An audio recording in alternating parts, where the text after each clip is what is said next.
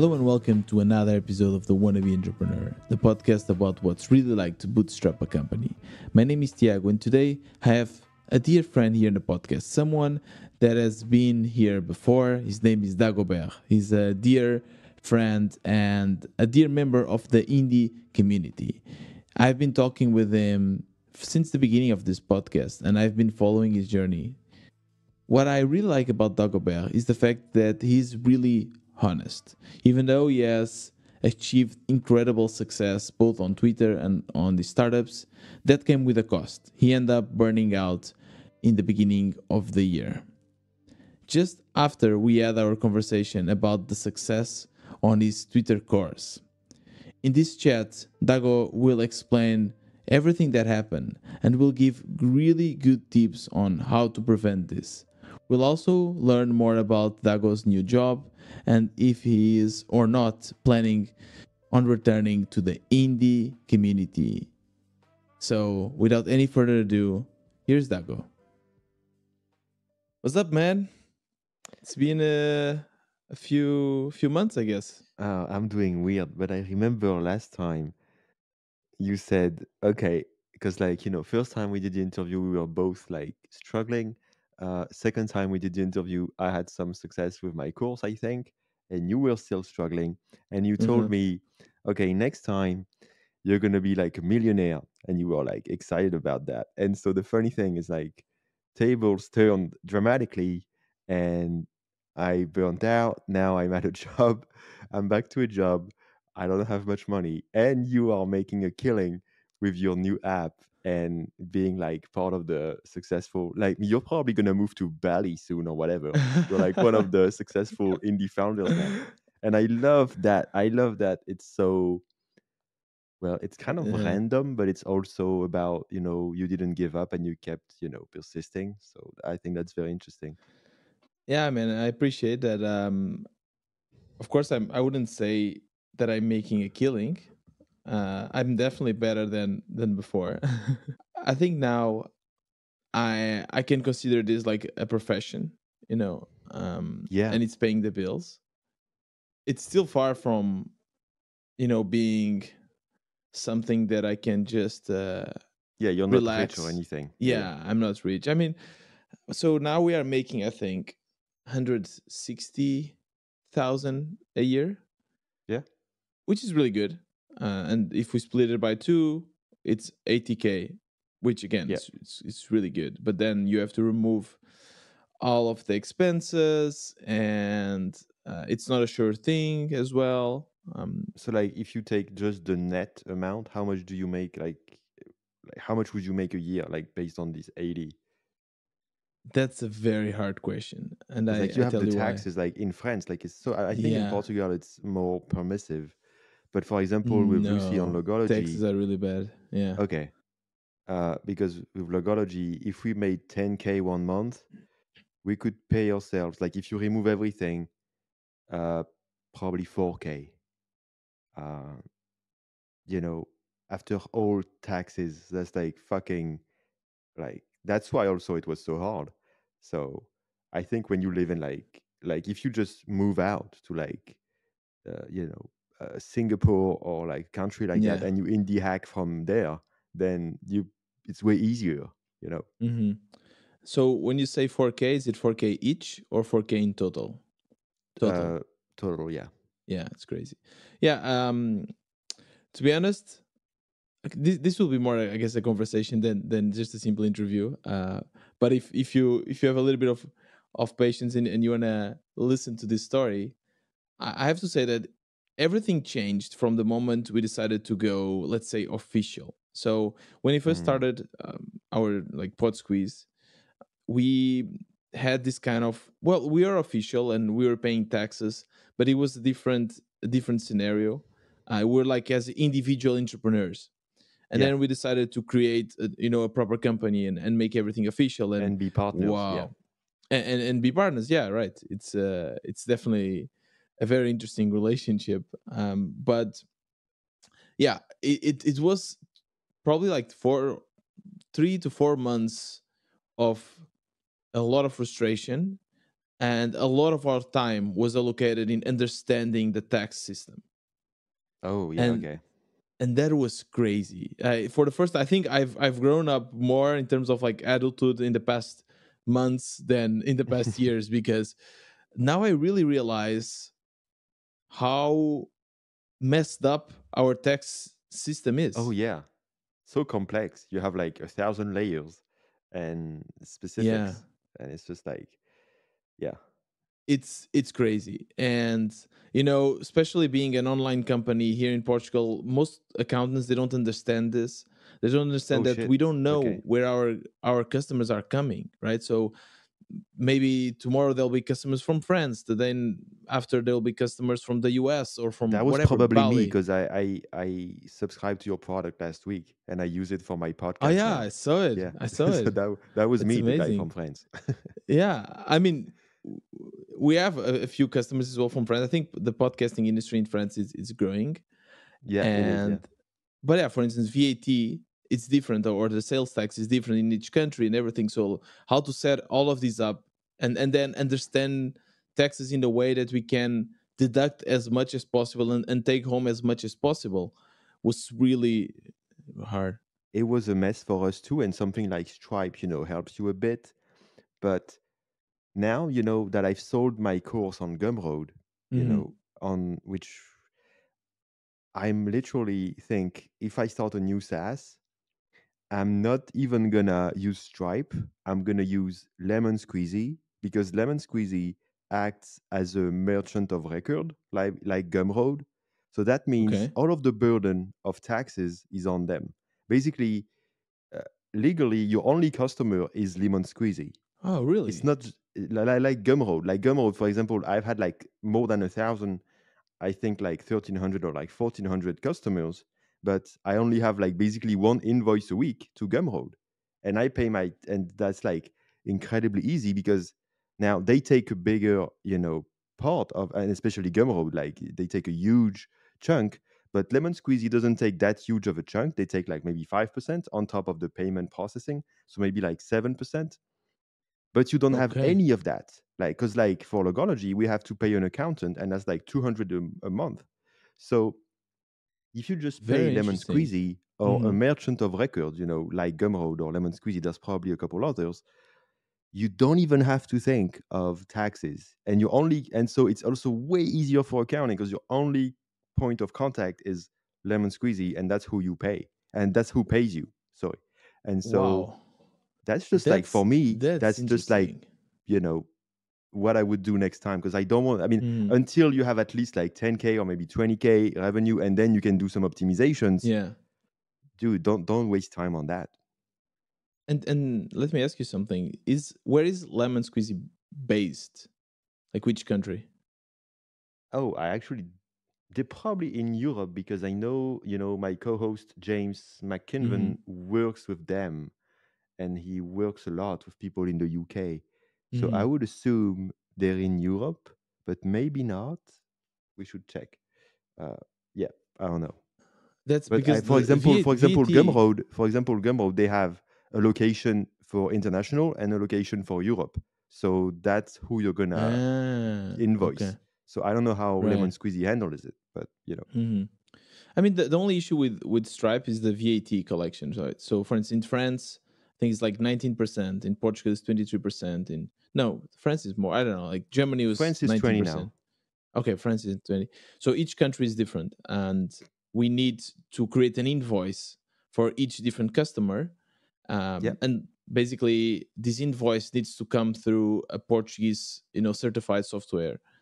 So Oh, I you have the to, obligation for that? Oh, that's terrible. yeah, I I don't have that in France. I don't have that obligation. Yeah, you need that. So fortunately, this uh, software has an API, so I basically connected these two. Yeah. um but yeah so But still, basically it's it's funny that most of our time for the past months was not dedicated to actually building a product and making the product better was dedicated into making our company official reduce taxes as maximum as possible and to answer your initial question which is uh, how much money are you actually going to make uh, i don't know i don't know because the tax system is that complicated it depends so i, I can tell you roughly that uh, it's about we need to pay about uh, uh, 21% plus 28%. Uh, and that's like almost 60% or almost 50% of taxes. Yeah. Um, of And then you have but- your income tax, I assume. uh, no, with this with this scenario, we don't have an income tax. Okay. Um, But of course, that then if we deduct a bunch of things, then our taxes also is reduced. You know, if, if Yeah. we put some expenses in, in the company, uh, let's say, I don't Yeah. know, here in Portugal, you can get um, money to eat. So every every day you get like a little fee that you can use Yeah. for for see. your meals and everything. So that it's not taxed. So it's so complicated that I it, it- there's no way for me to literally tell you how much will I get in the end And of the month. Like, shouldn't you get an accountant? Because like, No, yeah, it's have- mandatory. We have, yeah, oh, okay. Because like, yeah, that's like a, a mess otherwise. yeah. Okay, so you're gonna you're, you're gonna you're like so you personally you're making basically forty to fifty k right now a year. Uh, like maybe around 50k. something yes. like that. It's not bad. It's really it's good. Uh, and in comparison like, with a, not with a paycheck, yeah, it's And you know, because No, like it's no. interesting because like one of the reasons I burnt out is that I was so obsessed with like reaching 10k per month, and when I realized because there was two of us, we were Mhm. literally, I mean, just above being poor, not nothing more. Like we couldn't afford shit, you know. That was so shocking to me that that's one of the reasons I burn out because I was so I I have I, I had this goal of like 10k, 10k, 10k, 10k, because it seemed like and and I said it would it would be solving a lot of problems, and I realized it didn't, and that was very hard to to accept, you know, hmm especially since it's not recurring revenue, so every month you have to fight Yeah. for it. So you know it's a different game too. But that's a different game. So one thing that mm, you know assures me a little bit and, and gives me peace of mind is that for me it's recurrent. So it won't go to zero from one month to the other. It it will take you know it will take months until Well, it, I, you know, zero. I don't want to be a, a dickhead or anything, but it is actually possible. Look at what happened to people yeah, who true. had yeah, yeah, yeah, working on the Twitter API. So it's not likely, but it's possible. You never know, That's like true. Yeah, because I don't true. know what you're using. You're probably using an AI, you know, uh, Yeah, API. So mhm. you don't you don't know. You know, they can change something and Yeah, boom. sure. Yeah, yeah And, I, and I'm not saying it's likely. I'm saying you know there's like five percent chance or something. Yeah, there is, So- there is. Yeah, and it's something that we we keep it in mind for sure. But okay, if there are some chances to go of going to zero, but in general, uh, if everything goes well, it's not that we like like you did. You need to like every Yeah. month every month wake up and let's like start. you, you would have at least know? six months to one year Yeah. of like slowly going down. Yeah, yeah. Mhm. yeah.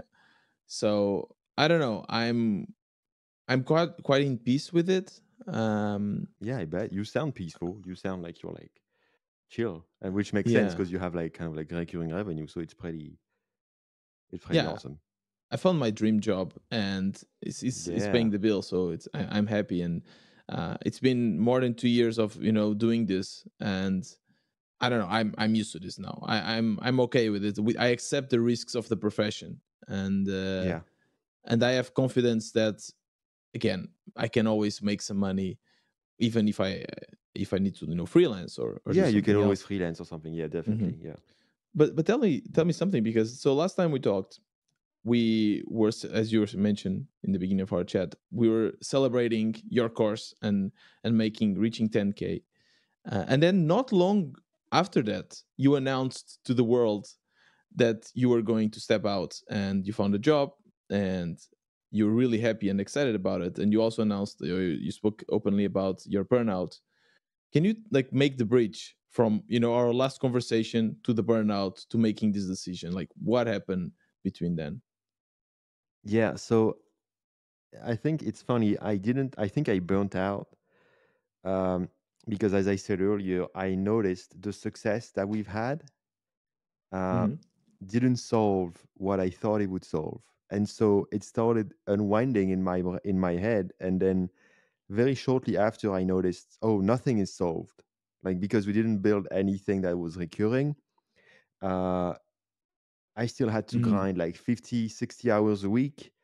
Uh, I had terrible pressure with Twitter, um, especially since our money was depending on the course and Elon Musk had bought the platform, made crazy changes.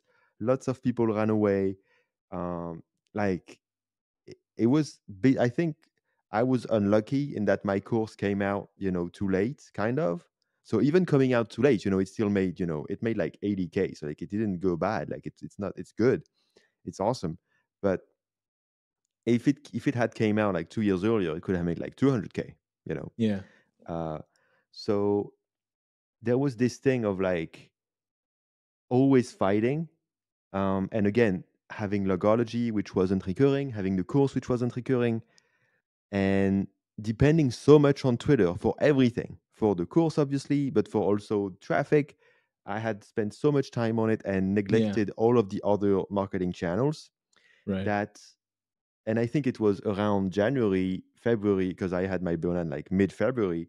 But like January, I started noticing, dude, like we're, we we don't have as much engagement as before. Like we have way less impressions.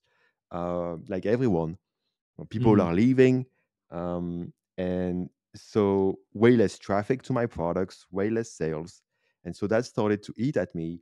And and then I remember one one night uh, with Lucy, we were like sleeping and we and she saw like some news about Elon Musk at like two in the morning and she was so stressed out because you know it was announcing you know I don't remember like one of the dramas like one of the earliest drama which was I think about uh, verification badges that were given to anyone or Yeah. something Mhm. and so she saw that like on, on a mainstream French news website so like a big that that was a very big deal and she saw that and she knew you know obviously that we depended on it so much and so everybody leaving to i mean it seemed like a lot of people were leaving to mastodon and shit and so it was just so stressful like we she woke me up in the middle of the night and she couldn't sleep for the rest of the night because we knew Mhm. we were like at the throat with this thing so i think basically the reason of this burnout is uh, we had built on very uh, we didn't have strong foundations you know i had built Yeah. up a castle on sand basically and it was a Yeah. beautiful castle i worked my ass off it was awesome but it was built on sand so Mm-hmm. eventually the sand like it just fucking collapsed like eventually it Mhm. had to it had to uh, and so it's it's not that it collapsed it's that i collapsed because it was the only thing that was making sure the castle didn't collapse was the sheer force of me overworking all the time and eventually i my body i mean mentally i was in this state where i would have never stopped like mentally nothing could have stopped me but my body like broke down because like i i was going too far. Hmm And can you describe w- what does it mean for your body to break down? Well, like what were the symptoms okay so basically i woke up one day and it's funny because like the the day before i had walked like 10 uh yeah 10 kilometers no yes i think i walked about 10 kilometers so like a big hmm walking day I was like in shape. We had we had bought our first car, so that was like very exciting. I went we went to have dinner with a friend at a nice hip place. So like very hmm good day, good shape. Uh next day or like the day after, because it was the weekend, so maybe the Sunday was still good. Next day I wake up and like I I get up and I feel a bit weird, but I don't really know why. And then hmm eventually I kind of like check my pulse and I see that like my heart is like just racing, but like really, really racing. Uh, so I'm like, okay, this is just like whatever. So again, I keep pushing. So I'm like, I'm going to push through. So I go to get some groceries. So I go walk outside and my heart doesn't stop racing. And so I end up like almost fainting. Uh, but I'm like, okay, hmm I'm going to keep going anyway. So I keep going uh, to get the groceries. I almost faint again. Um, then I go back home uh, finally after like an hour or so. And then I really like, then I start having this weird feeling like in my whole body where like, um, how to describe it? It's like, um, you know, when you can't feel uh, your your like your hand or like something because Mm, the like numb, blood isn't lum- the blood isn't going to it and then you have some weird you know Yeah. uh Tingling. tingling tingling yeah Yes. hmm well that was basically my whole body was like that tingling Wow. like my head, especially my head. I never had tingling in my head, but like my whole head was tingling basically, and my whole body. And I, I eventually I, I couldn't breathe because my heart was beating so fast. Um, so I started lying down, and then I realized the that the only way. Then I quickly bought like a. I use you know the company money to buy Mhm. an Apple Watch so I could expense it. So I expensed it, and I bought an Apple Watch to track my heart rate. And Okay. then after a couple of days, I got the watch and I, and I was still resting. And then I started noticing that it was just like constantly. So the only way to not get my heart in this state was to stay lying down. Like even sitting, that was like I, I was going way too high. Um, But so, So- the the only symptoms you had were you know the tingling and your heart was beating really fast. Did you feel like anxiety somehow? yeah, that was major anxiety actually. I think, but I didn't really understand or understood it at the time. But that was yeah, that was uh, that was anxiety basically, and but I, I, I did at this point I didn't realize it was burnout, and so for the next five weeks, I basically kept working, but like lying down, and I thought it was long COVID. So I was studying long COVID, and I was very s- similar symptoms. Every Yeah. time I was going from you know lying down on my bed to standing, I would be like I couldn't. Uh, like when I was in the kitchen to cook something, I had to sit. Like I, I had put a chair so I could cook. Uh, you know all of these things i couldn't go out because we ha- an- anymore because we had like three stairs of steps you know we don't have an elevator so uh, we had like it was too much for me It's crazy. Uh, Did you go to a doctor? yeah but like they couldn't find anything. My doctor was like yeah it's probably long covid. I'm like okay cool. Uh, i mean cool but like so i Mhm. started you know geeking out on long covid. I was convinced it was it. They tested my uh, you know blood my heart uh, there was nothing. Everything was fine. Um, and then eventually i wasn't getting any better. Um, i basically thought okay that's going to be like two years of long covid ahead of me or something you know started you know looking at documentaries about people who had it and it didn't seem very positive at all Mhm. uh, because uh, the year before I had COVID and it lasted for months. So that's Yeah. why I also thought that was possible. Mhm. Um, So, it never crossed your mind that could be somehow connected with stress or mental health. absolutely not, because I remember I was telling myself, and it took, and that's why I, this burnout taught me so much, is that I was telling myself, I can't be burning out because people was telling me maybe it's burnout, and I'm like, no, it's it can't be because you know I'm in charge of what I do. Like I, I I'm like free. I don't have a boss Yeah. or anything. Yeah. So I didn't think it was possible. So Lucy called a friend of hers and told her about the situation because it has been five weeks. and I can't do anything almost because I'm always tired. Uh, I can't even work eventually, even from my bed, because I'm too tired. I'm too exhausted all the time, too stressed. I mean, not really understanding it's stress, but like too in bad shape. And she calls a friend and tells her about it. And she tells her that her husband went through a very similar thing because, like me, he is always working but always loving it. And that was the Mhm. trap for me is that because I I enjoy it, I kind of like enjoy the pain. I really do. Like I taught myself how to enjoy the pain basically. And he, and uh, my you know this friend's husband is the same. And so one day he and his doctor immediately said that he was like burning out. And so when she said that, and I'm so similar to this guy in my behavior, I was like, oh yeah, okay, it's probably burnout. Because like that was like everybody who was telling me it's burnout, it's not people who have the same personality as me. So I was like dismissing it. But this Right. guy, I was like, okay, this guy works even harder than me. So and he doesn't like very similar personality. So I was like, okay, I'm listening.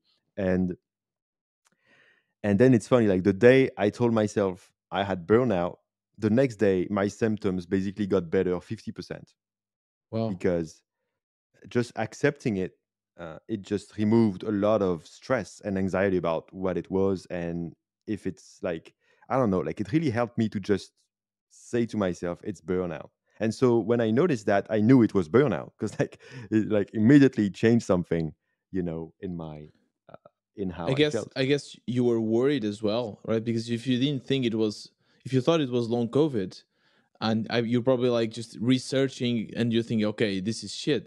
when i when i knew it was burnout i was like oh shit it's burnout. Awesome. You know it's something i can manage uh, even though since then i learned Yeah. it's way harder but at least you know Mhm. i'm getting better now but yeah. you know, How how um, did uh, Lucy, you know, witness this whole process? Like when when you started first telling her about your symptoms and how you're feeling that you couldn't get up, like so it was very hard for her because she was uh, very worried, but also because basically overnight I couldn't run the business anymore, Mhm. and it there was so much that was depending on me that basically the business stopped. And so for her, that was so stressful, which I understand. And she was also like very angry that I didn't plan ahead and like gave her, you know, more things to handle so that she could handle herself. I was yeah, basically taking everything on my shoulders. And in which respect, there was two reasons for me doing that. It was first, it was a real belief that I wanted to help and to avoid her having all of this pressure. I really Mhm. wanted to kind of like protect her. There was a lot of that. But there was also the thing where like I wanted to be in charge of everything. You know, I wanted to control everything, you know. Uh, so there was these two uh, Mm. different energies that led me to not delegate, not like I, basically Lucy. The the only thing she was doing, she was just designing shit. That was it. She was designing yeah, logos and stuff yeah, and that was it like she wasn't doing any of the marketing any of the business uh, any of the accounting any of yeah. anything except the tiny kind the kind even the product that was me so she was just doing the design of the Mhm. logos the the way she went through that was very uh you know she was supportive and she was Yeah, like mixed and like feelings. but like at the same time she was like well also she went through a bad time because basically that's her business too obviously and Mhm. so well, it kind of like collapsed and she couldn't do anything about it, Yeah, you know, because uh, it was depending on Twitter so much and I couldn't do Twitter and she can't do it, you know, the same I, I do. yeah. So there was no no chance of really picking it back up significantly, you know. What I think is interesting is, um, you know, I've I felt stressed before with with my business, and I could always connect either it was because I was not making money or um, because there was just a lot to a lot work to do, and I could feel it. Um, and the fact that you didn't notice this makes me believe or makes me think that you just got used to this. You just got used to living in this constant stress, and you thought it was normal. Can you relate to that? Exactly. There's a trap to doing this indie hacking or entrepreneurship is that hmm you have to be in denial initially because you're against huge odds. Like even like hmm you or any indie hacker, you have to be in kind of denial uh, to be optimistic. You know, you hmm have to be in denial that you have very little chance of success. It's completely stupid, com- like in terms of like financial decision compared to just having a job. Nobody's believing in you. You know, all of this shit. You have to be kind of like delusional a bit Yeah, uh, to keep going. You have to be true. dreaming, you know, you have to be living in kind of like a fantasy.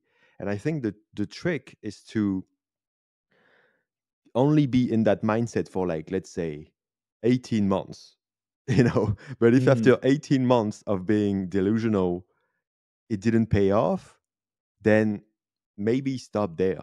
And the hmm problem is, I, I did that for five years. So Yeah. eventually my yeah and that's exactly what you said like my body changed because you know you live in denial for five years about something um you know you you things that weren't normal become normal like to give you an example that is a very bad example that i'm ashamed of hmm but like three months before burnout i got angry which i never do i never get angry usually i got angry for nothing at lucy and i almost hit her Well. and I was that never happened to me to want to hit. I mean, someone, let alone my wife, Yeah. uh, that I love. Like it didn't make any sense, but I really could have hit her, and I hmm didn't. But you know, it was close. Yeah. And I mean, you know, and that's the result of living for so long, and that should have alerted me, obviously, which it didn't hmm really, but it should have. Uh, and I and now that I look into like I studied burnout and I see like it's a common thing that can happen, you know, in uh, when you're on the verge of really, you know, burning out. Yeah. uh, emotions are starting to get out of whack. You know, you can't Mm, control them as easily. Like for example, yes. now, like it's been so it's been like about eight months, and I, I have like for example, if I do a little bit of like physical activity, like uh, with Mhm, some intensity, and you know, it releases endorphins, you know, like mhm. some things that feel good. Well, now when I have endorphins, I I sleep.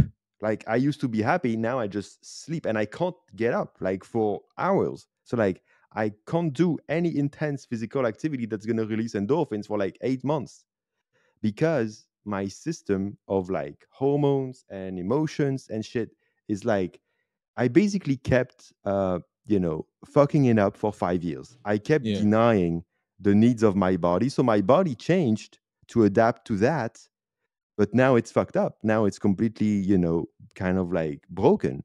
Yeah. And it's over time that I'm kind of like re-educating it and now it's getting and I finally for only 1 or 2 weeks now I can handle a bit of that again. Mhm. But it's just to tell you that uh, it's about your emotions and your hormones and how basically by always denying what my body wanted, which is rest and relaxation and times without stress, Mhm. well, you know, uh, eventually, uh, you know, it, it just it just breaks down.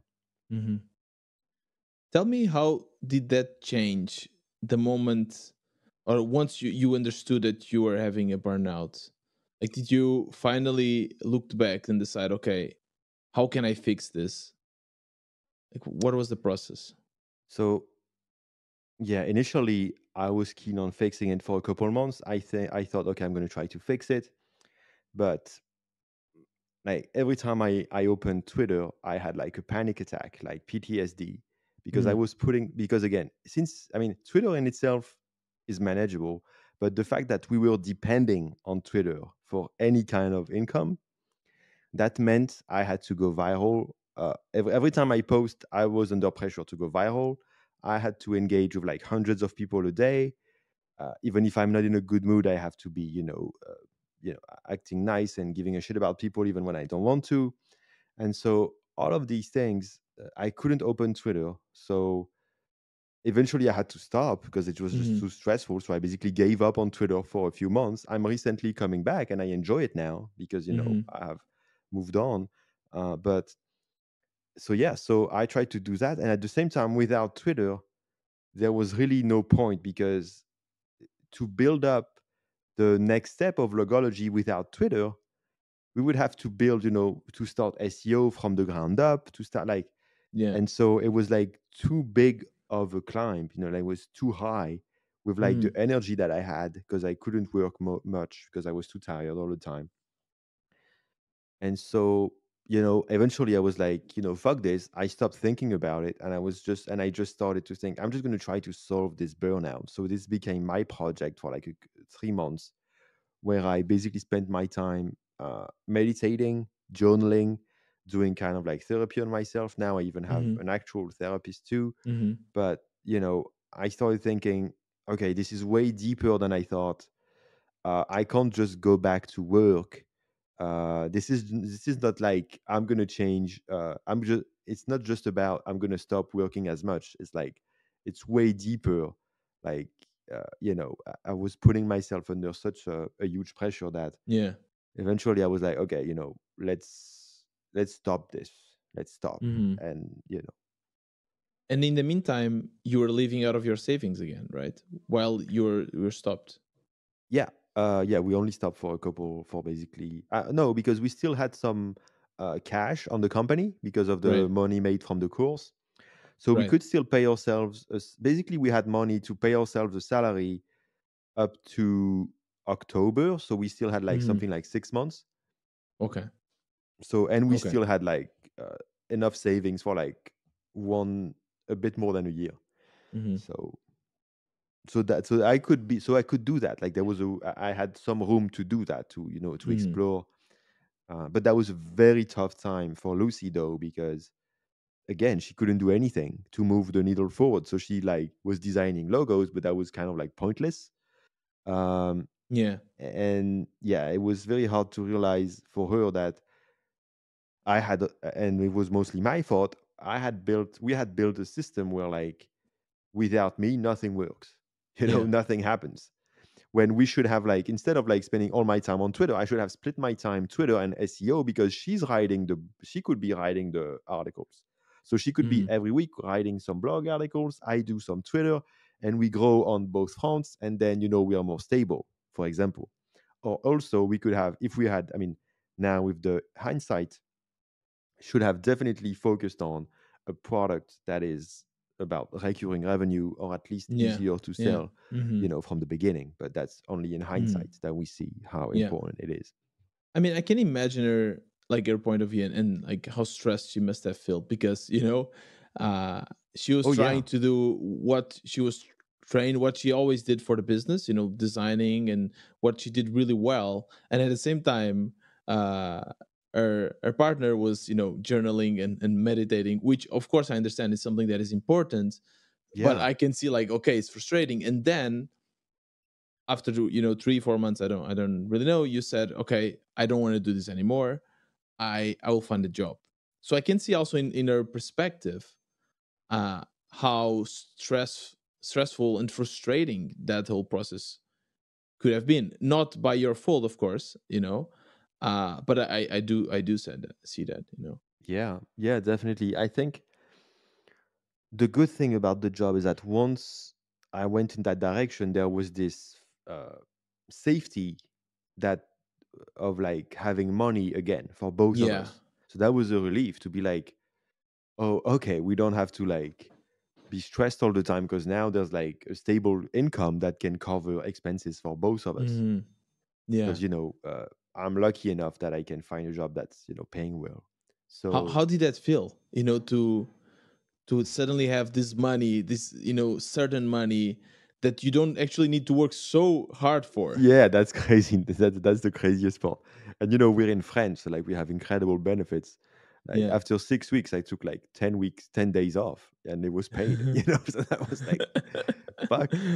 And that was normal i was you know Yeah. and right now for example it's like been four months that i'm at this job and i still have like uh, i think like i have 10 days that i can take off whenever i want now and i'm getting like five more like three more days each month or something so um so that was weird because the fir- the first couple months I didn't really understand. I didn't really realize, and then the third time I got a salary in August, uh, it really started hitting me, and I was like, "Wow," you know, because especially like the first couple weeks, I was putting myself under pressure to perform Mhm. because I wanted to, you know, uh, prove them that they had uh, made the good choice by Yeah. hiring me.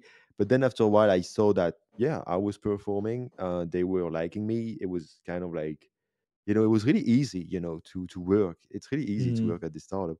And so yeah, it was chill. I could just be like, you know, challenged. Like it's a bit challenging, but it's like, you know, compared to logology, it's nothing.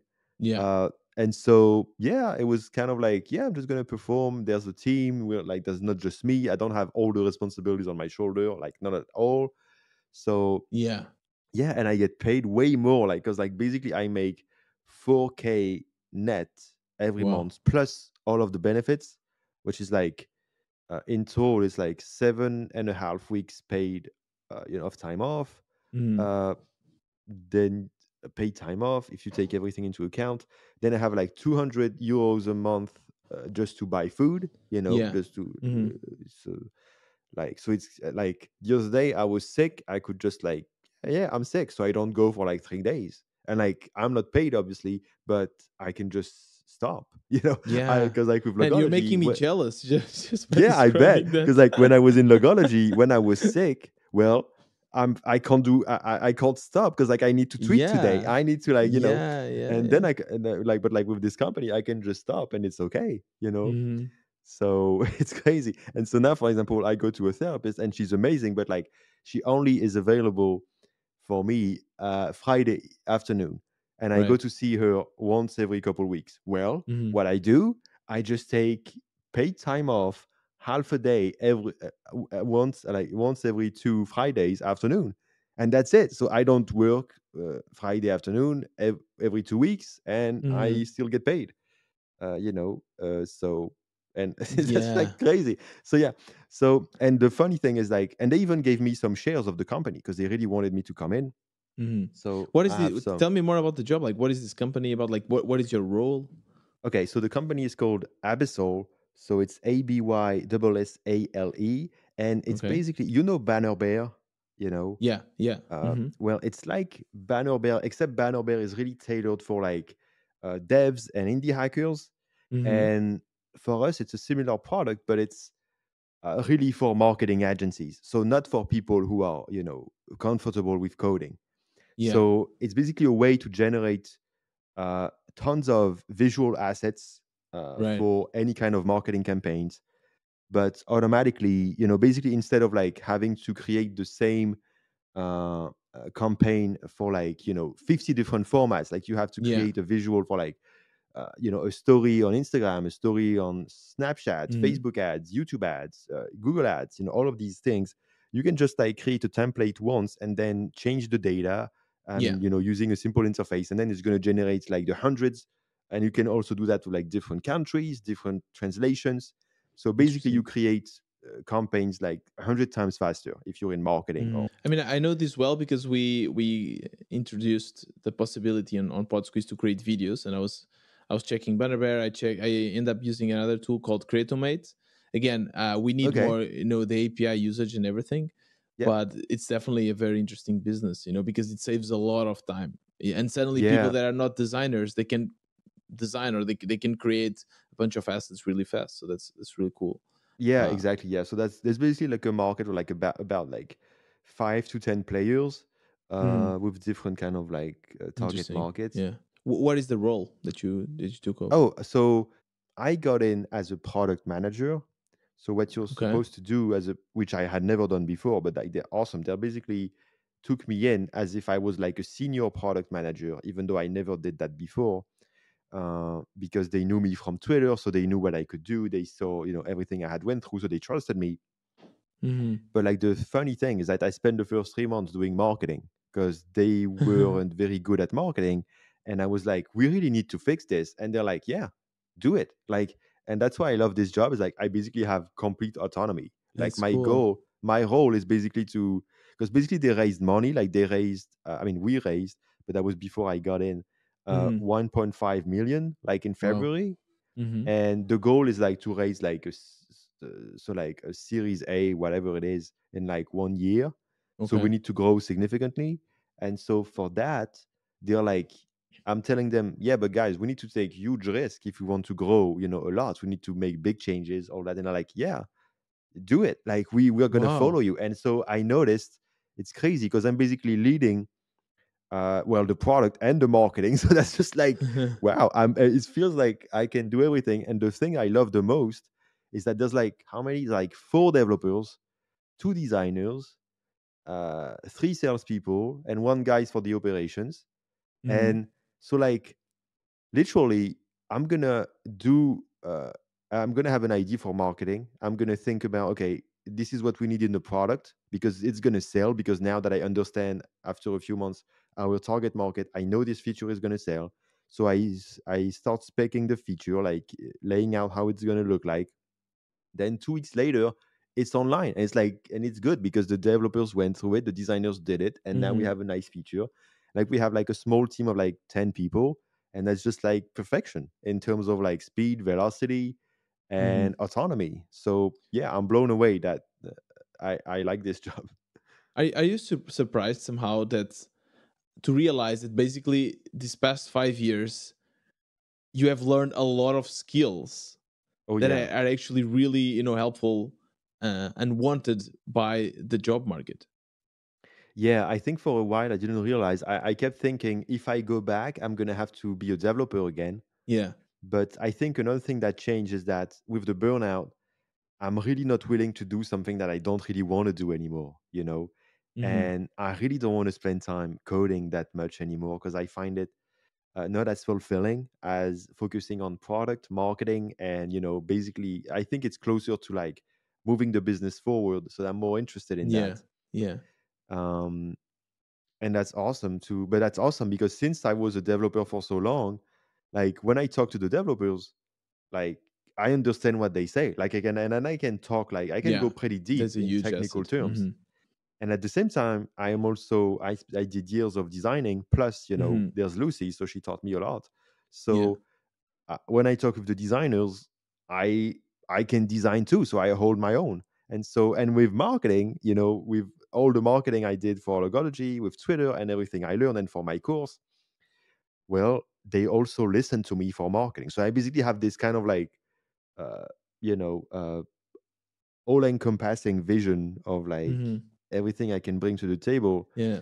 And so for the first few months, I did marketing because I thought that was the most useful to get growth. And now I'm doing product. Uh, a month from now, I think uh, I'm basically trying to define a lot of features that are going to help us. And then while the devs are building it, I'm going to do some, uh, you know, uh, copywriting again and you know stuff like that. So it, it's crazy the amount of trust that they are putting in you. I mean, it's not crazy because, of course, you are um, you're an entrepreneur, a seasoned entrepreneur, but at the same time, like, why do you think they are trusting in you so much? Is it because like what they've seen, what you've built, your Twitter Okay. account? so th- there's like an alignment of everything but uh, so this job offering was recommended to me by a friend Oli that I met uh, that I met on Twitter and he Mhm. told me and he knew the founder of Abyssale and he told me um, you know they had, they were looking for a product manager and since I had burnout maybe I could try that so you know I went on LinkedIn and and then he basically introduced me to the founder, and the founder actually followed me on Twitter, and he Mm. loved the memes, and he Yeah. thought it was awesome. So we basically spent two hours talking, and I was like, hmm, this guy is interesting, you know, because I was really like hesitant and thinking, oh, it's gonna be a startup, it's gonna be, and especially it was French, and like a French Yeah. startup, I'm like, uh, you know, it's a lot about usually French startup, it's uh it's it's it's very VC oriented, like really Mm. trying to look good instead of like doing a good product. Right. Uh, and I, I mean, it's probably not just French, you know, but like at least I had a bad kind of like uh, bias against it. But I was still open, and this guy, after two two hours with the founder, was cool. Then I met with uh, like three co-founders. I met basically with the other one, who is the CTO, and it was cool too. And I think the main thing is that, well, I don't know how to put it a different way, but they really see that. I mean, it's obvious that I know what I'm talking about, basically, Mhm. because like when I talk about something, I'm very convincing because I really like. I mean, when I talk about marketing, they can see immediately that okay, he's the real deal. He's the real deal. And like, if they have some doubts, I can bring up, uh, dude, I did my fucking Twitter course, crazy conversion rates.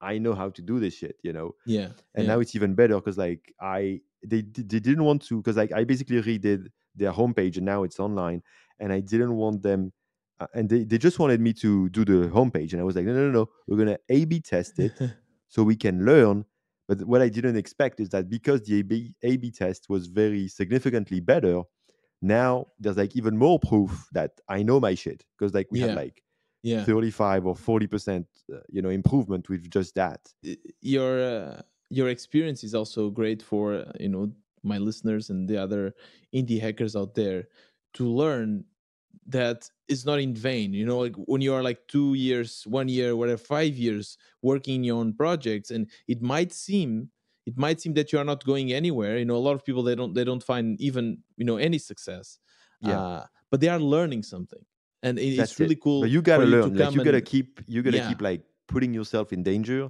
taking risk and trying yeah things, yeah and then you learn. Like and that and and yeah, and then and then you know, like for example, my resume doesn't really look good, but he didn't even look at it because once I started, we started talking, yeah they could immediately notice that I got it. You know, yeah he and, knows he knows this and shit and like and that's like the deep uh the deep thing when you really have been through the fire you know you've been through the fire of like building a startup Mm-hmm. Yeah. failing failing with marketing failing with product and now you know and so yeah that's what you said like it's not in vain and you can you can you Yeah. know like the, what's the sentence i think it's like real recognize real you know that's it that's it yeah you can see when somebody game you know game yeah you, you can You really know, see it so like and and as now well now the thing the thing i want to say though is that it's a Mhm. startup so because of that they're small like Yeah. and so because they're small i'm talking directly every day with the founders Yeah. You know, that's the people I work with the most is the founders.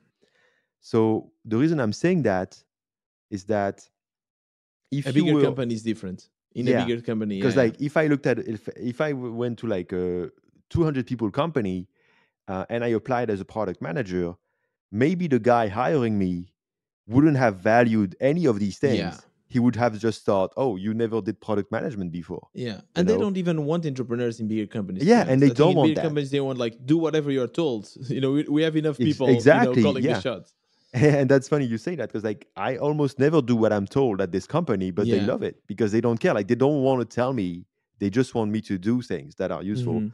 So, yeah. So I think the key thing to keep in mind is that it works if you then go to like To a small small startup, company, yeah, and and then you get work directly with founders, and then then Mhm. it can be highly, uh, you know, valued. yeah. How how did this success change the way you see yourself? You know, because quite often we connect our professional success with our personal success. And I, I felt like when, when suddenly Podsqueeze started giving money, I felt like more confident. Then my co-founder, the same, Joan was like, "Now I can peop- I can look people in the eye. Like this is a real a real thing." Uh, did this also like? Did you feel this that suddenly you are waking up with more energy, happier, and and with more trust in yourself? Eh, The very thing I noticed recently is that it's easy now. Uh, Life feels easy. Like working feels easy. Even Mhm. Twitter feels easy because like it removes the pressure of like making money. Yeah, Uh, and I feel like even if I'm just like having a good week, like not being at the top of my game a hu- a hundred twenty percent all the time, if I'm just Mhm. like uh, at least seventy percent, uh, and most of the time I try to be hundred, obviously, but like sometimes I'm gonna be seventy because you know it's just like a couple of days that I'm not at my best. yeah, it's normal. hmm Well, yeah, it's normal. Well, you know, it's okay, and it's okay, and there's nothing wrong with it, and we still make progress. So for me, yeah, it made me, you know, start to really relax in life and be able to kind of like think of projects in terms of like I mean, I really understand this work-life balance thing now, which I really wasn't understanding for years. yeah. Now I'm like, oh yeah, I see the value of that now. Okay, that's cool. Because I Mhm. and I think a bit a, deep, a deeper thing that it taught me is that obviously you need to grind, you know, for a while when you try a startup, but like, but if you need to grind for years and you don't have work-life balance and you're not getting anywhere, well, maybe the product isn't good enough. Maybe it's not a good market. Maybe like maybe you're wrong. Maybe like, you know, and for logology, that's what I kind of learned is like, Mhm. yeah, you know, that wasn't uh, it was too costly, you know, too Yeah. costly in terms of energy and effort. And when I look at what you're doing with Podsqueeze, it's like it doesn't seem that costly. Like if you can Yeah. literally spend most of your time doing accounting, then it means you have a good a good business because Mhm. You know, and kind of like my Twitter course, my Twitter course was a way better business Yeah. because it's like, you know, and so I think that's what it taught me is that I'm never going to spend, I think, I mean, I hope I won't, you know, I, Mhm. I I hope I will uh, keep myself accountable to that, but I don't think I'm, I'm capable again of spending five years on something that's not really working No, yeah. you know because like now i see that well it can work like if it works it works and if it works you can take some weekends off if it mm, works you Yeah. can like not be stressed every night okay so if if you don't feel that after like maximum 18 months then you know move on like do wrong. Move something on. else Yeah. like it's it's not working or like do a huge pivot but like Yeah. You know there's something not working and it's not your fault it's not because you suck it's not because whatever it's because it's just like it's not the business that's going to work so try something else Yeah, I think that's that's probably also one of my biggest lessons. You know, uh, one of the reasons why I started this podcast was to learn more about entrepreneurship and indie making, and um, I kind of kept seeing this with people that found a lot of success. Uh, they they iterated through their products really fast, and that's kind of what I told uh, with with Juan when we were working on our project. Our first project called Indie Lottery was not working at all. oh yeah And i then- remember indie lottery it was completely like it didn't work at all i remember Yeah, i think i João- signed up but yeah Yeah, I mean, people were signing up, but there was no way to like really make money out of that. And and João said like, no, let's keep going. You know, we need to try everything. And I was like, no, dude, if it's not working in a month, uh, if, if we don't see this traction that you know that people tell me about, and, and I've I've interviewed people that say hey, there was this crazy traction. I was like, I want to find that traction. And then we found it with exactly yeah You know, Eh, eh, th- that was very wise of you because that's only because of the course that I understood that. Because with the Mhm. course, I had real traction, and I was like, "Oh shit, that's what it feels like." Like you know, and you can't miss it. Like you, you know, and I think you have the same with Podsqueeze. Like when you when you really have something, you know, you know, you know that you have something. yeah, Like, and so if you're if you're in doubt, then you don't have anything. Then you Mhm. know, forget it. Like you don't have it. If you're in, if you have some doubt, oh, maybe I could. Like, no, no, no, you don't have it. Like if you Mhm. had it, you would be like, oh shit, like how do I handle all these you know customers? it would just be like overwhelming Mhm. uh, really quickly. And it doesn't mean that you're not going to hit like a ceiling. Because, like, for example, with my course, eventually there was a ceiling of like, Uh, yeah, with okay. Podsqueeze, we are feeling the same, to be honest. yeah, yeah, it seems like you are.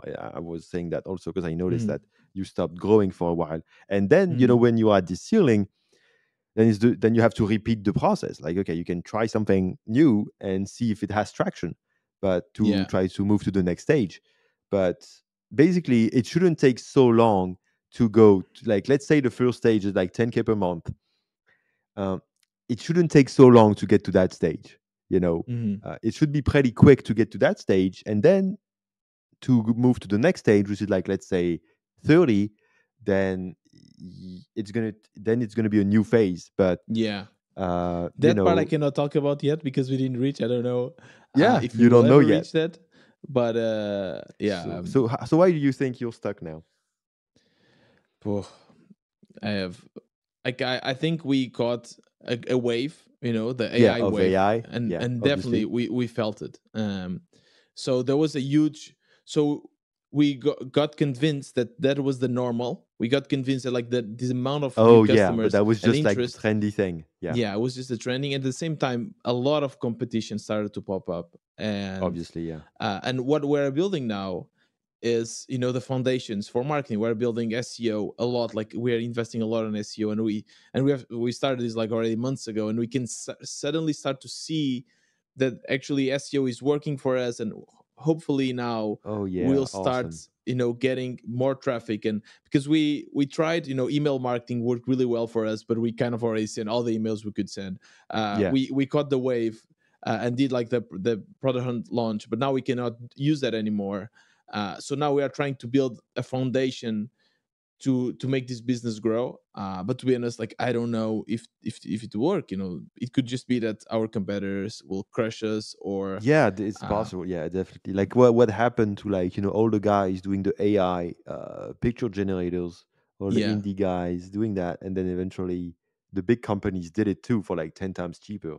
Exactly you know, so the thing is like also i see myself as a as an entrepreneur as an e maker i don't see myself as the Podsqueeze founder right? So Podsqueeze is great and i like the tool i like the market but i also like a thousand other markets and a thousand other ideas that i always have you know i'm always having new ideas so it's okay i'm okay i'm in peace with if if it dies and i have another business i'm okay with that you know?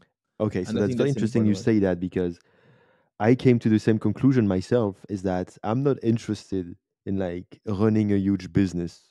I don't feel like it's my thing. And that's not even my goal. But like if you clarify that, if you clarify that you're a maker, you like to create some things, surf yeah a few waves, do different things. Well, once it was clear for me, with, you know, after the burnout, that that's actually why I failed is that I kept trying to build this business eh, when I should have tried a bunch of different ones and have more fun and shit. Well, if you clarify that that's what you want, then I think what you need is you need an exit strategy. Because, like, for example, are you thinking that Podsqueeze? So, like, if you say that, I feel like what the the conclusion of what you said. I mean, the next step of what you said is that, well, then, are you planning to sell Podsqueeze next year so you can exit? Mhm. instead of just letting it die and move on like could you like try to sell it at the highest so like you can make maybe like 150 or like 200 uh you know what did you think do, do you think of that so i i kind of and Joan was asking the same, and I, I told him uh, what I'm about to tell you is that like I have a three or two main uh, criteria that would make me decide to sell or, or to to exit.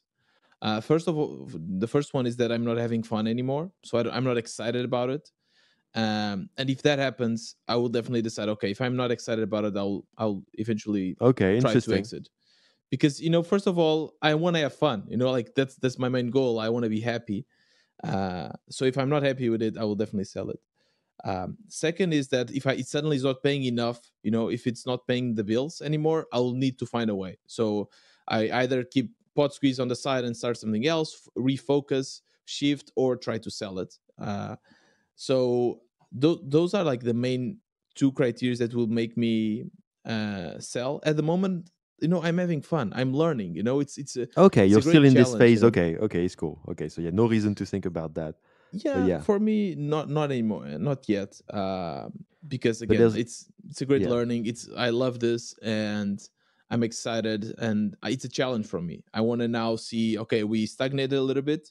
Can we go yeah, further? That, yeah, if you can you know? move on to the next stage, that would be awesome. So that would be like a great learning experience. Yeah, definitely. Yeah. Mm-hmm. Um, so you know, it, it's interesting because we started this conversation in kind of a very dark you know mode whereas like talking about things that are important to talk about but at the same time of course it can be a little bit more um, you know more dark more sad yeah and then we end up with you know in the bright light of okay i've actually learned something amazing and now i have a great job and i'm i'm getting paid and and it's it seems and i'm getting healthier and everything and you're learning a bunch of interesting lessons that you can now one day reapply if you decide to go back yep, to the exactly business.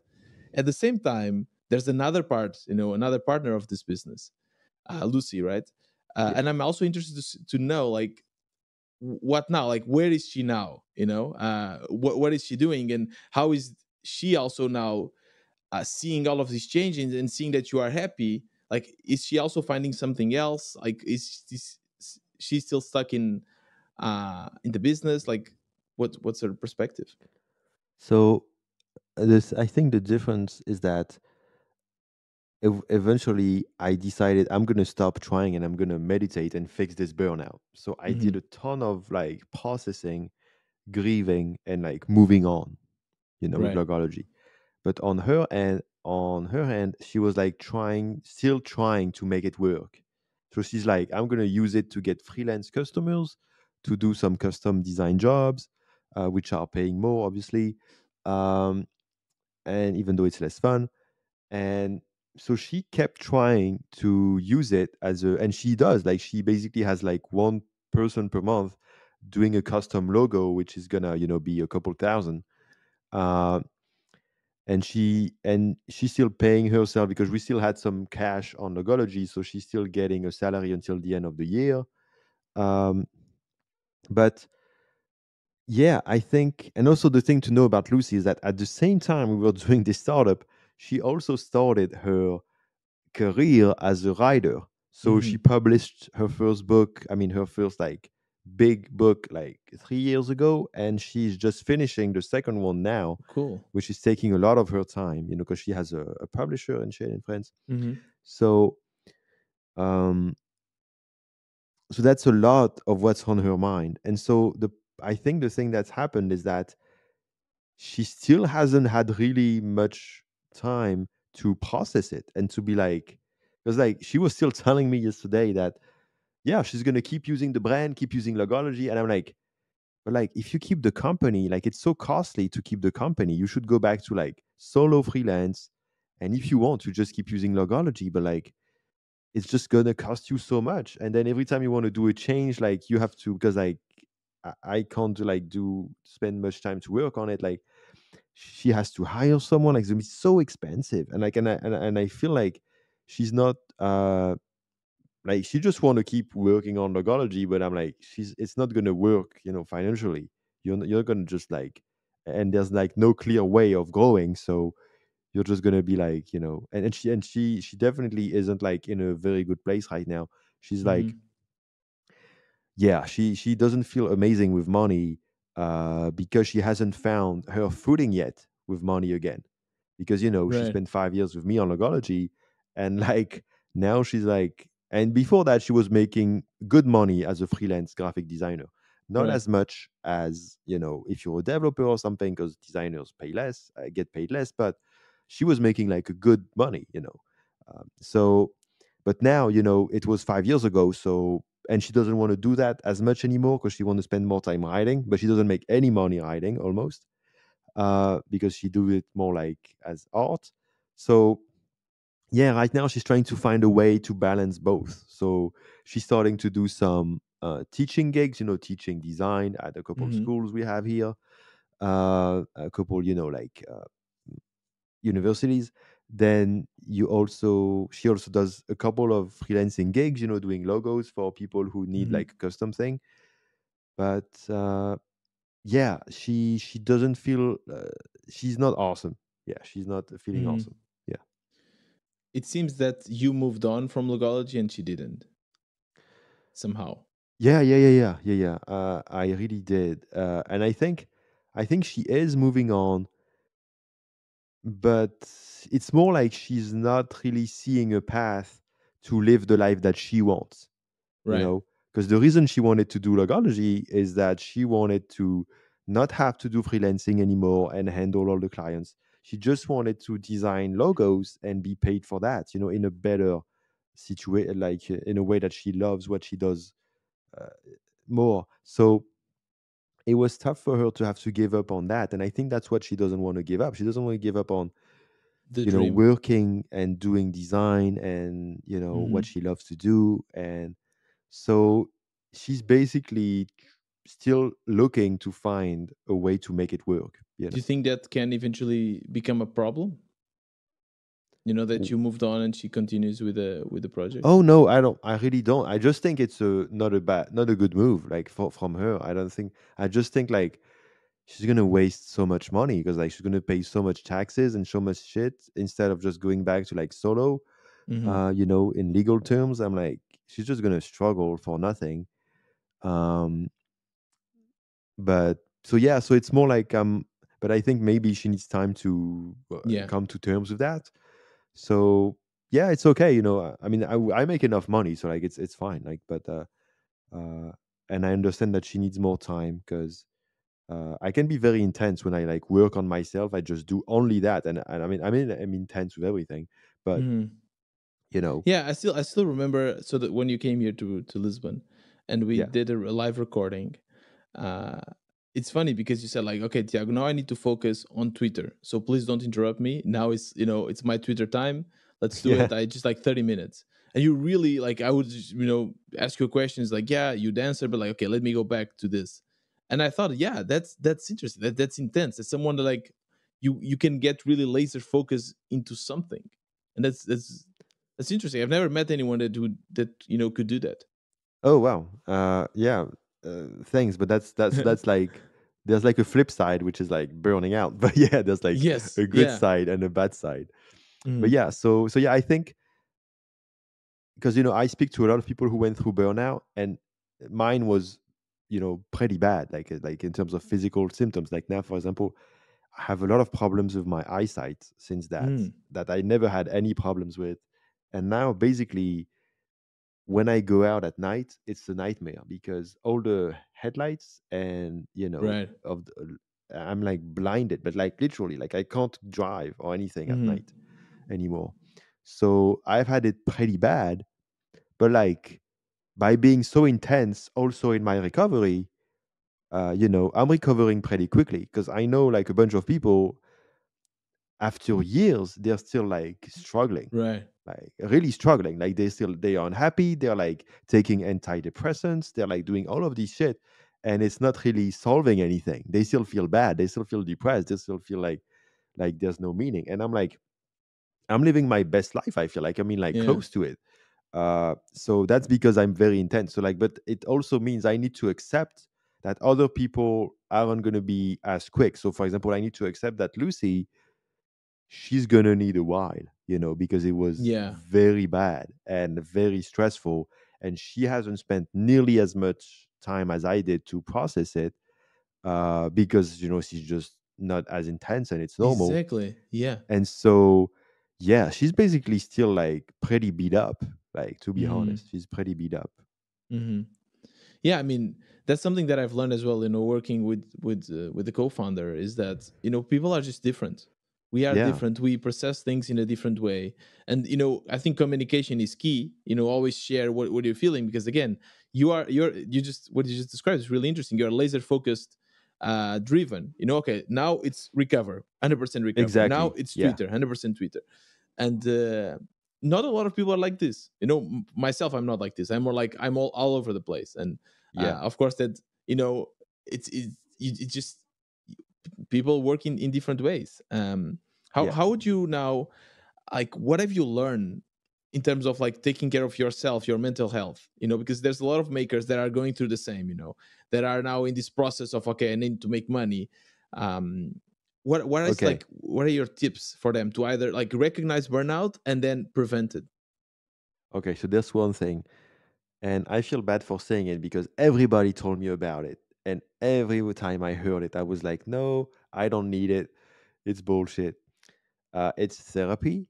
Uh, Mm, and I never wanted to do therapy because I have a bias against most therapists that are like just bullshitting. And I have this bias because, and that they're not telling me anything I'm going to learn that I didn't know. And I have this bias for two reasons. Is one, uh, I did like 15 years ago, I went to San Francisco to the Bay Area and I did a, a, a big uh, therapy kind of like workshop or something that I right paid a lot of money for when I was very young with the money that I made from my very first, you know, kind of startup that I did. Mhm. And and I met the most amazing therapist in the world. I met a guy who is now, uh, for example, uh, a partner with like Tony Robbins. You know, so this kind of you know, you know, you know Tony Robbins. no You know, okay, well, everybody knows Tony Robbins, so it's okay. People listening will know Tony Robbins. Don't worry. is it an actor or no, it's like uh, a basically uh, a coach, like self development, Okay. kind of like Mhm. guru, like Mhm. crazy guy like this, incredible guy. And so, for example, a friend of mine that I made here, who's a friend now, she's like a coach for C- Silicon Valley CEOs, and she's like nine hundred dollars an hour. like, what and like I did some work with her, but like for free because she's a friend now. And like in, in like 30 minutes with her, your life changes. Literally. Like she really knows what stuff. see know. but there i'm skeptic how can someone justify paying 90 bucks 900 bucks Well, now I know because you know. Uh, okay, so let me let me get back to it. So, so that's why I was so skeptical about therapists because most of them they are not like that. They're just like most people who do that. They're like, I mean, uh, in my bias and my assumption, they just went to therapy school, they learned a bunch of tricks, and then they listen to you, and you know, there's not really a lot of passion or like vision for it. Yeah So I was very like I was like, if I can't get that woman that I know or like this amazing guy who works with Tony Robbins, I'm like, I don't want to go to like a stupid therapist in like Lille, France, like in like a small, like a medium-sized town in France. I didn't trust it. And Lucy went to a lot of therapists over the years for like different uh, things, Mhm. and she was like, and every time, very often, she had bad experiences of like mediocre experiences where like they're not the best, they're like not listening to her properly. So anyway, I finally found someone that was amazing here. And so I can tell you why it's so important now. So the person I found is like from the co-working space I go to, it was recommended to me. First of all, she's a therapist in like psychotherapy, but also energetic work.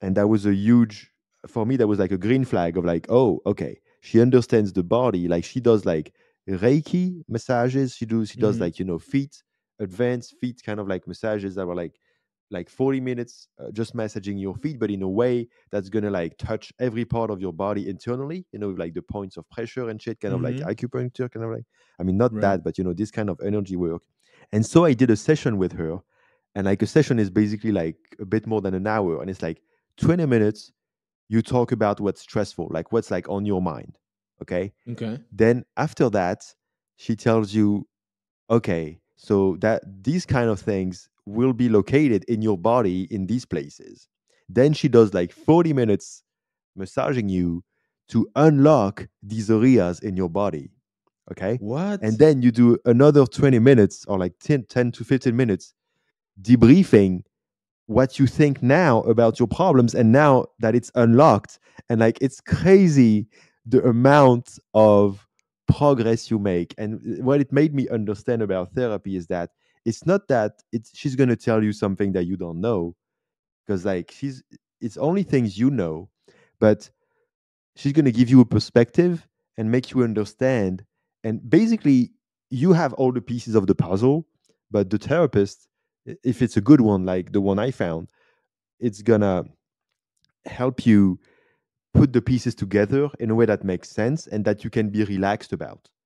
Because you can usually see the problems the potential and you have and it's a mess in your head and you're stressed and especially if you're a founder but there's a way to put all the pieces together and to take certain decisions in a way that is uh, like very uh, you know aligned. And by Mhm. doing that i mean every every problem just disappears. Like it's okay you know and i'm like dude if i had her from the day one of logology it would have made a world of difference because i wouldn't have stayed stuck up on some stupid ideas for three years because like Right. i would have told her after like three weeks oh this is stressing me out and then she wouldn't have told me what to do but she would have listened you Mhm. know, kind of like reflected it back at me, found in my body where it was located, unlock it, and then I would have been free to let go of that Yeah. stupid ass idea that my ego was clinging to, and I could have moved on and you know Mm. not make so many mistakes. So now I will never live a day without a therapist. I will see her or a person like her for the rest of my life because it's such a superpower when you have the right one, kind of like the right co-founder. It's like a superpower. So yeah, That is really interesting uh, in many ways. First of all, I think it's great advice uh, to find a good a good therapist and to somehow guide you through this this uh, process because it's a very stressful process. Uh, at the same time, unlocking something, you know, it's it's it's weird. Like, how does that work? Is isn't it okay? You Okay. just get more relaxed. no, no, no. Uh, okay, let's say for okay, um, let's say um, you are hesitating because most stress comes from hesitation.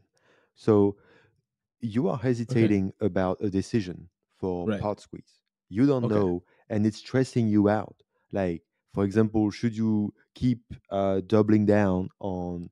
Should you keep doing SEO? Should you open new marketing channels? Right. You're like hesitating, and like it's messing with you, and so it's making you procrastinate. It's making you waste time, and so you go to see her. You talk to, uh, and I say her because it's a she, but it can be a man, obviously and you tell her that you have this stress and this hesitation and like okay i don't know where i should go like it and it's i mean and probably the, the first thing is you probably don't even know that it's stressing you out so you just go and you just talk to her about what's on your mind and then after a couple minutes by guiding you she will get to that point where like you realize oh this is what's stressing me out.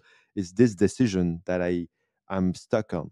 And so then once she knows that uh, she will ask you where in your body does you do you feel that decision? Like when you when you talk about it what part of your body is kind of like feeling different or tensed or weird?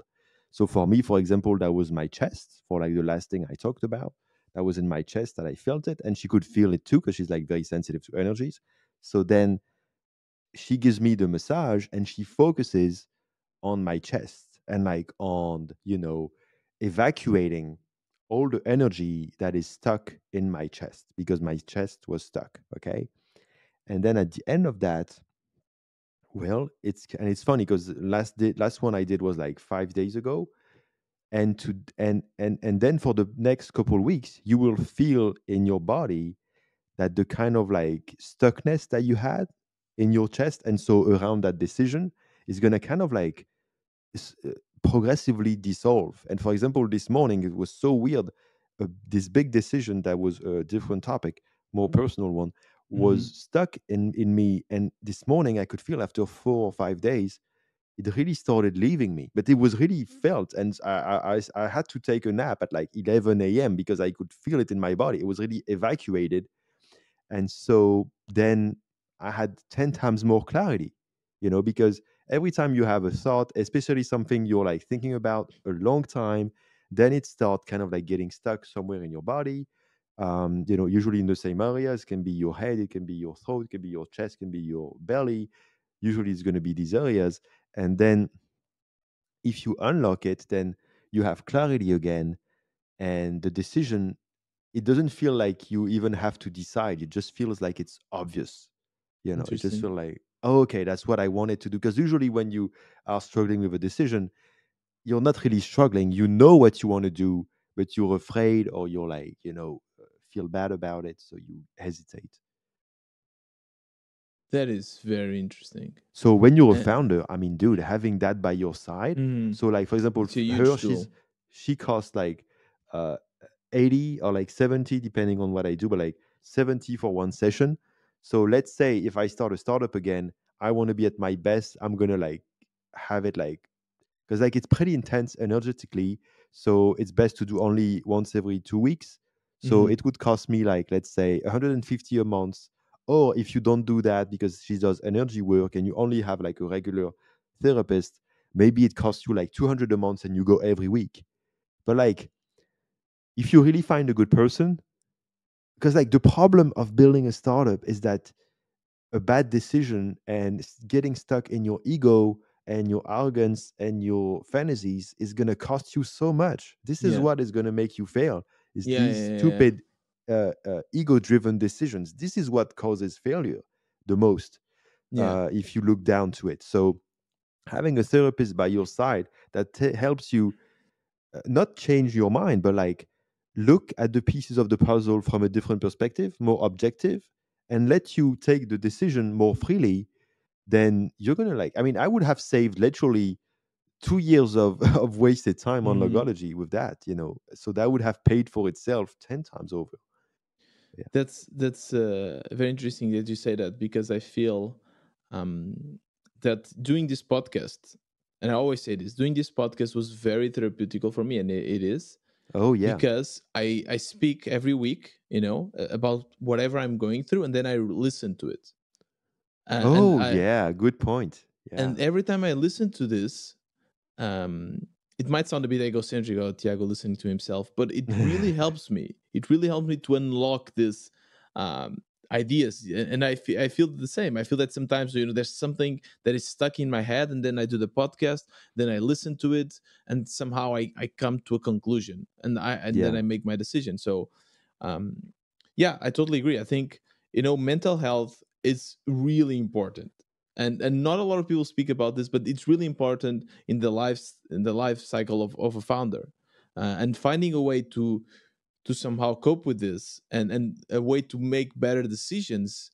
and to be healthy is crucial so i, I think definitely a therapist um and you know, I'm just will help thinking they do they do couples therapy, obviously, but Mhm. you could literally do co-founder therapy yeah because with Lucy, me not delegating was a huge mistake, and that Mhm. was caused, as I said earlier, by a couple of reasons. One that was like tied to her, and one that was tied to me. yeah But if I had gone to therapy and maybe also do some specific co-founder therapy, maybe once a month or once a quarter, where you just do a session with your co-founder, with a therapist, and you look at the problems, that's a good point you know, that's like something, dude. That's like maybe that's a startup idea that we have right here, you know, like uh, uh, therapy as a service for startup founders, you know, uh, a task, you know, I don't know.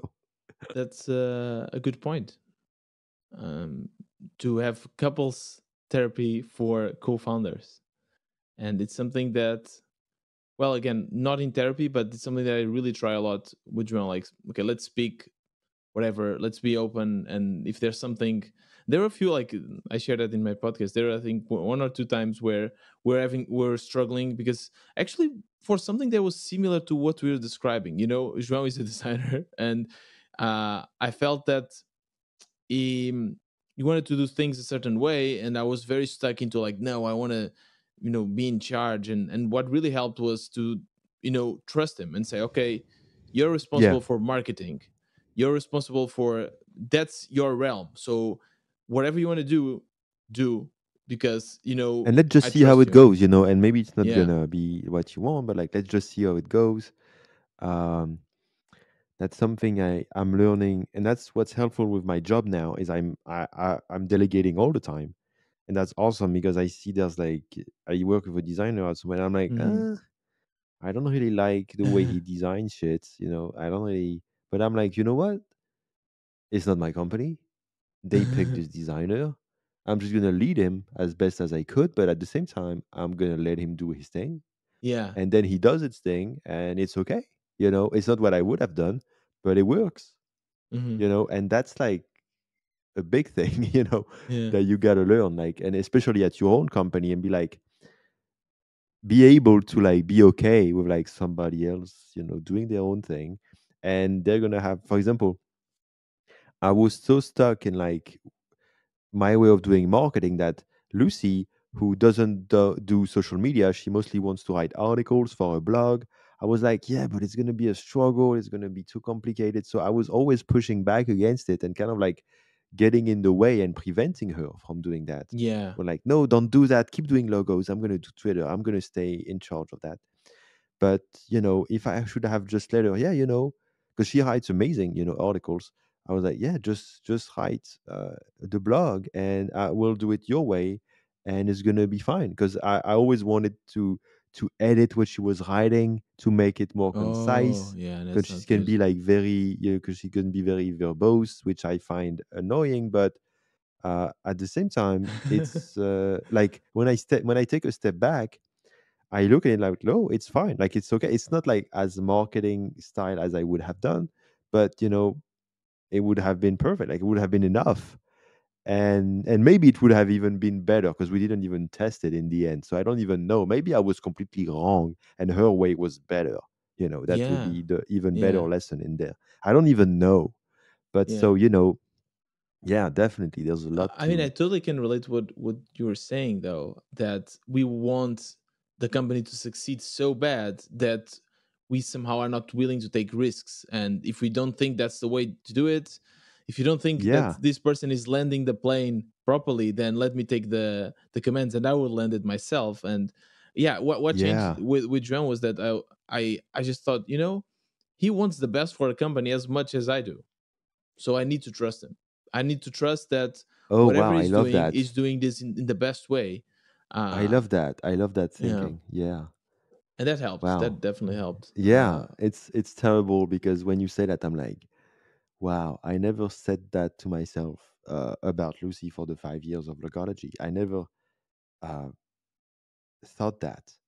I always thought I'm like that I was putting myself under this pressure for this company to succeed more than her, which is not true.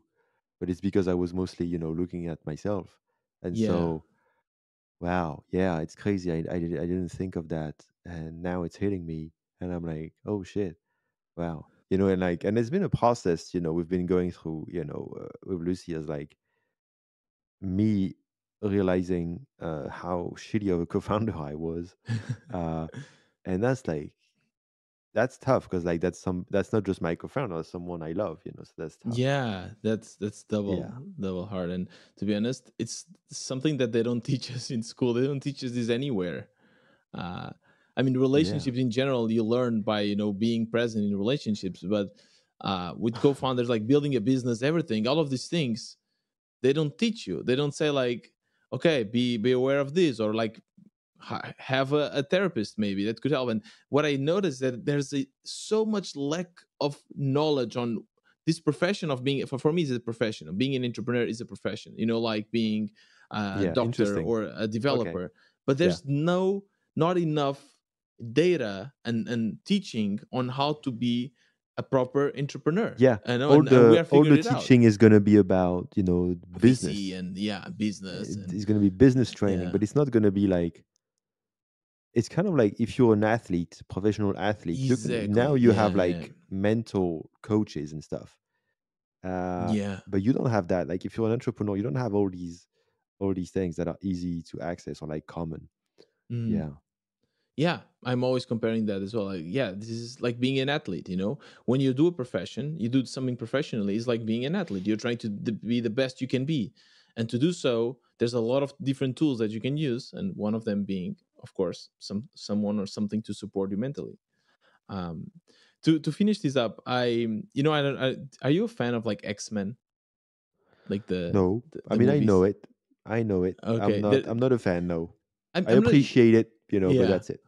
there's a scene there's one i remember this one movie where i think there's the mutants they lose their powers and and magneto which is the one that basically controls uh, is the bad Yeah. guy somehow and controls metal whatever in the end of the movie they are playing chess and it, somehow you can see that he's able to somehow move the piece a little bit like he's regaining his power Okay. and that's what i Oh, feel yeah, every okay. time i see you tweet you know every time i see you tweet there's a little tweet and be like oh, is he regaining his power is like is he coming back you know with all of this new knowledge to somehow retry uh uh, in in a different way so i guess that's my yeah. my last question for you today dago is that uh are you regaining your powers or or not Is- I am. I am regaining my powers, but yes I, I don't plan on starting again uh, for now. okay Uh, I really, um, I mean, I'm learning with this job. I mean, I'm not learning that much in terms of like the job itself. It's it, it's more like I'm learning how to be healthy and do my job in a way that I enjoy hmm and delegate and let go and all of these kind of like soft skills, like skills related to my ego, like all of these things. I'm learning to get used to that. And I want to keep doing that because it's so useful to I want this balance to be my new normal, you know? And so maybe once I feel that this balance is my new normal, I will want to come back. And but now and I, and I have so many ways I want to come back, but like I have a friend Nicola who lives uh, near here who is one of the other French indie makers. Hmm and he and we met like a couple weeks ago we had dinner and it was awesome because we were thinking maybe next time we do a startup we we do it together you know we hmm we become co-founders. So we had some we want to do a marketing uh, centered startup for indie hackers. So that would be and we'll probably start you know with an agency. Because i think when you start with an agency you can get like uh, you know some uh, revenue quickly and then use that revenue to invest in building a product instead of having the always pressure of succeeding with a product which is 10 times harder. Hmm so you know some ideas but yeah right now it's about i am regaining my powers but it's also new powers you know? It's not just ah. the same powers as before it's like new things of like i i'm not the same like i'm literally not the same like i don't want to be i don't think i'm ever going to regain the power to overwork myself 70 hours a week because i don't think yeah. it's my power anymore. I mean i think it's cool but like there's the dark side i would rather power like I, i'm more interested in like gaining the power of uh knowing how to have 20 amazing hours that are useful hmm because I go to a therapist, because I delegate work, because I stop, you know, doing all these mistakes and I have like, and I take the right decisions that I can make as much progress in these 20 hours as in these 70. That's more like the power that I want to get. I want to, that's the power. I, and I feel like I'm developing this power right now. Um, hmm this is but yeah, I have I have hmm some of my powers back because now I that's can tweet again. I started tweeting regularly again, so you know it's coming back, and I'm and I have a, a ton of lessons I want to share that I plan on sharing. It's just that now since I don't, uh, I'm not gonna hurt myself to do it. So I'm gonna hmm wait until you know, yeah, I, I have a morning that is pretty quiet at my job. I feel inspired. Maybe I'm gonna spend an hour writing it, you know, eh, hmm during my break or something. Um, and you know, or in the weekend or in the evening and yeah but i don't put myself under pressure anymore so that's new powers basically I have to say something. I am excited to watch that movie. yeah that's more excited right than just yes, like the same old definitely. powers Yeah. yeah Yeah, Dago, thank you so much for uh, you know talking about this openly and sharing this and and teaching us that even when things don't go your way, doesn't mean that you cannot learn from it. Uh, I think that's a powerful lesson, and I think a lot of makers will listen to this and um, consider this while you know the the techniques you just gave for them while building their products, and as well the option of finding a job that they are in love with and, and learning and regaining their strength to then one day with new powers uh, you know face and, and write a new movie and, and make a new new product so yeah thank you so much man always a pleasure talking with you Thanks, man. Yeah, I really love it. Like it's so chill talking with you every time. So that's why I talk so easily about stuff because you're so you're an amazing podcast host. There's like no oh, pressure. thank you We're just chilling. So yeah, thanks. I love doing these. I don't know if we'll do a fourth one one day. i Probably. think we We'll see. yeah we will. That will be i fun. mean the That the listeners want one. it Yeah, there- there's always something happening. So yeah. And that's a wrap of my conversation with Dagobert. If you are a first time listener or you just simply want to re listen to my first conversations with Dago, it all started in episode 146. It was the first time that I met Dago, and back then it was just the beginning of his Twitter journey. If I remember correctly, he only had around 5,000 followers on Twitter. Then I interviewed his co founder and wife, Lucy, in episode 168. And more recently, I interviewed Dago about his Twitter course and the enormous success he had with it. That's episode 278. If you want to support the Wannabe Entrepreneur podcast, you can do so by joining our community for indie makers. It's a Slack based community, and you'll meet a lot of people like yourself that either are already further along in their indie journey or are just starting. It costs $10 per month, and you'll be also able to support this podcast. And that's all for today. I hope you enjoyed this episode, and see you next time.